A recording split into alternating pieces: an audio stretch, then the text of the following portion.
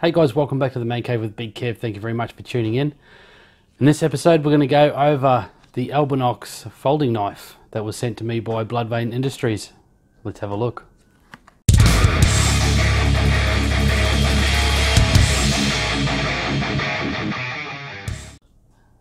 Okay, so Bloodvein Industries have sent me a whole bunch of knives to review, and this is one of them.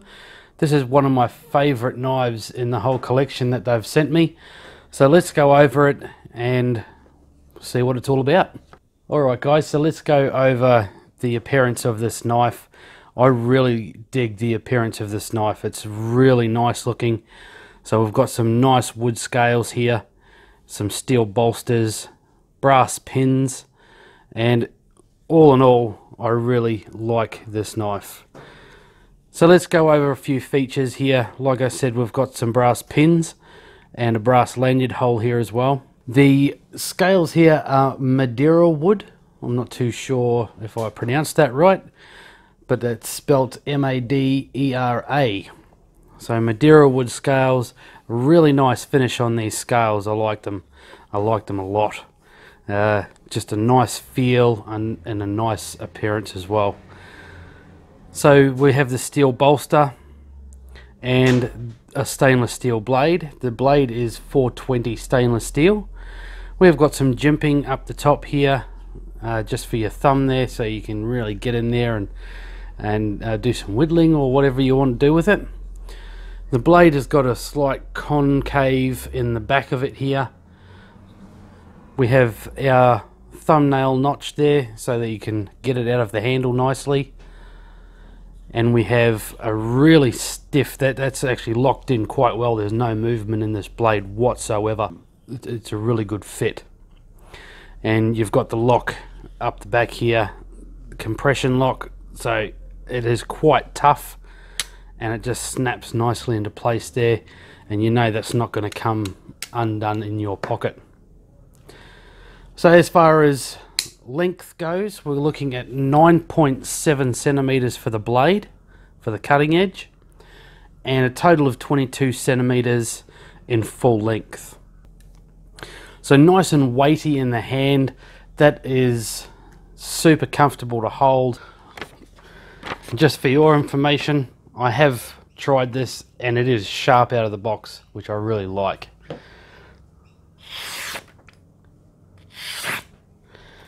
Very, very sharp.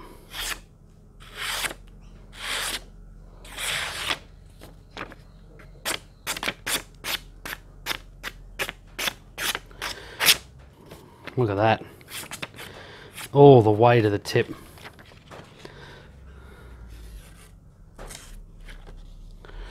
So having it do that, I'm really interested to see if it will stand up to this one. I did this with the uh, the wolf spider, Spyderco wolf spider, and it performed quite well. So let's see if this one is the same. Or not quite.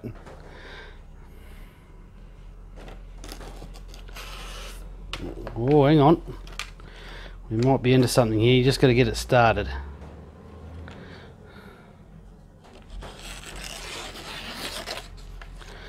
That's not too bad. That's not too bad at all. So there you go guys. The Albainox folder. This one doesn't have a name like a lot of the Albainox brand. So what number you want to quote is 19369. So that's the uh, the product number. Very nice knife. I really like this knife.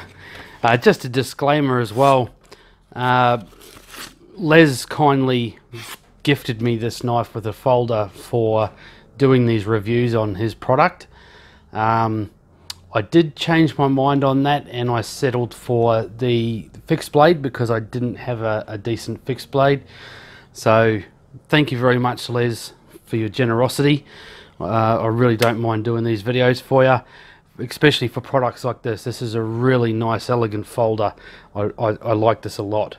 Um, Probably the only thing that I would pick on is it doesn't have a belt clip, but for the style of knife, I think it would really draw away from these nice wood scales here. so find yourself someone that makes leatherworks. I can recommend RMK Leatherworks. They do custom stuff for customers.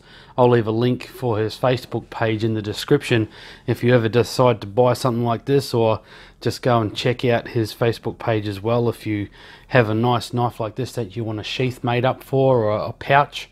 So thank you very much guys go and check out bloodvein industries on facebook instagram and bloodveinindustries.com.au i'll put i'll put a link in the description in there as well so go and check me out on Facebook and Instagram as well. I'm also now on Patreon, so you can go and help me out with uh, with a bit of cash, and that will allow me to get some funds together to get some better equipment.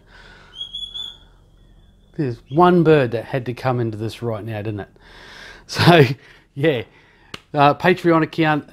Uh, three different levels of, of, of patronism there, which is three, five, or ten dollars a month. So I'll be posting up some videos on there as well, which is the ones that you'll see on my YouTube. Thank you very much for tuning in, and I hope to see you on the next video. Thanks, guys. See you later.